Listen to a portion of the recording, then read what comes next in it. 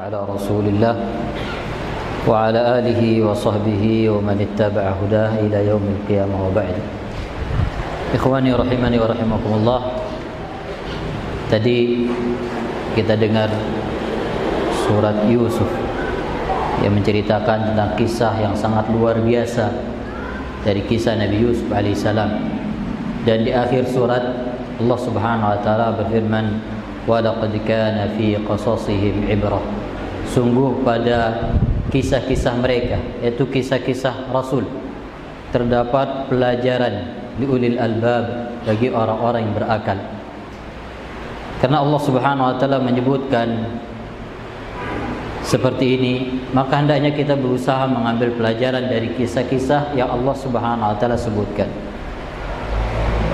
Dan pada malam ini kita ambil satu ibrah saja dari kisah Nabi Yusuf alaihissalam.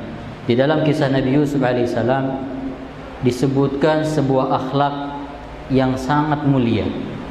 Dan ini akhlak tingkat tinggi yaitu ucapan Nabi Yusuf AS kepada saudara-saudaranya yang telah menzalimi beliau dengan kezaliman yang sangat besar. Beliau mengatakan la tathriba alaikumul yaum. Tidak ada celaan atas kalian hari ini. Ya. Imam Suddi rahimahullah beliau mengatakan la adhkuru lakum dhanbakum. Setelah ini saya tidak akan sebut kesalahan-kesalahan kalian.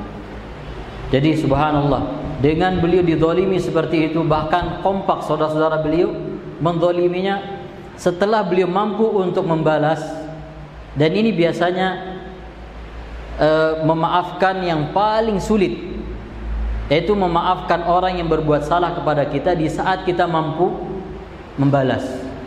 Kalau kita memaafkan di saat kita tidak bisa membalas Itu terkadang terpaksa. Tapi tidak membalas di saat kita mampu ini sangat sulit.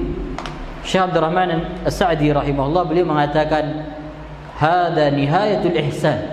Ini adalah puncak kebaikan. La yata'atta illa min afdalil khalq wa minal mustafain ini adalah puncak dari kebaikan yang tidak bisa dilakukan kecuali oleh orang-orang yang sangat mulia dan orang-orang pilihan makanya lihat akhlak-akhlak para rasul Nabi kita Muhammad sallallahu alaihi wasallam ketika beliau menaklukkan kota Makkah, beliau mengatakan kepada kufar Quraisy yang melakukan segala bentuk kezaliman, ucapan, perbuatan, sikap sampai ada pembunuhan terhadap sahabat beliau alaihi salatu wasallam. Beliau mengatakan antumut tulaqa. Hari ini kalian bebas. Nabi sallallahu alaihi wasallam tidak membalasnya. Ikhwani fi din rahimani wa rahmatullah. Orang yang berpuasa adalah orang yang dituntut untuk memiliki akhlak yang mulia. Maka akhlak-akhlak yang seperti ini harus kita pelajari, harus kita usahakan ada pada diri kita.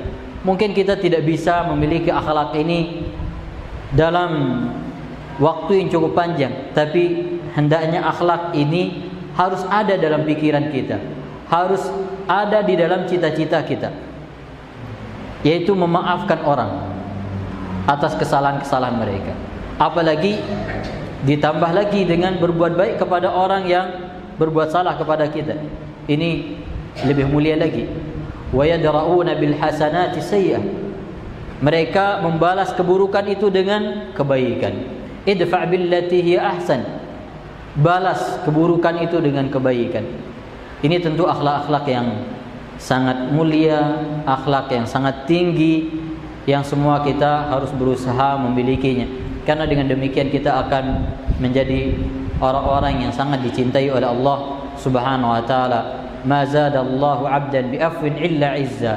Tidaklah Allah Subhanahu wa taala menambah seorang hamba dengan dia memaafkan kecuali kemuliaan maka di bulan puasa ini kita dituntut oleh Nabi sallallahu alaihi wasallam untuk menjaga diri kita dari akhlak-akhlak yang buruk. Maka mari kita berusaha untuk memiliki setiap akhlak yang baik terutama akhlak yang disebutkan di dalam ayat tadi. Dan ada satu yang membantu kita untuk memiliki akhlak yang seperti ini akhwan fillah yaitu apa yang disebutkan oleh para ulama dengan at-taghaful. Yaitu cuek dengan apa yang orang lakukan kepada kita ucapannya sikapnya ya artinya tidak terlalu memperdulikan tidak memasukkan hati setiap ucapan sikap orang yang tidak baik kepada kepada kita. Kalau ini bisa kita lakukan maka insya Allah kita akan tenang, hati kita akan lapang. Bahkan ulama menyebutkan ya sepersepuluh dari cara kita bergaul kepada orang itu adalah diperlukan ini at-taghaful ini ya yaitu uh, sikap tidak terlalu peduli dengan apa yang orang ucapkan kepada kita tentu dari hal-hal yang tidak baik. Kecuali dalam satu hal yaitu apabila kita memaafkan orang itu dia akan semakin zalim maka di sini tidak kita disyariatkan untuk memaafkan. Faman afa wa aslaha ini syaratnya. Barang siapa yang memaafkan dan dia berbuat baik bisa memperbaiki dengan dia memaafkan tersebut kita mohon kepada Allah Subhanahu wa taala di bulan yang mulia ini dan di malam yang sangat mulia ini kita mohon kepada Allah semoga kita memiliki akhlak-akhlak yang baik dan dijauhkan dari akhlak-akhlak yang buruk. Wa sallallahu ala nabiyyina Muhammad wa akhiru da'wana alhamdulillahi rabbil alamin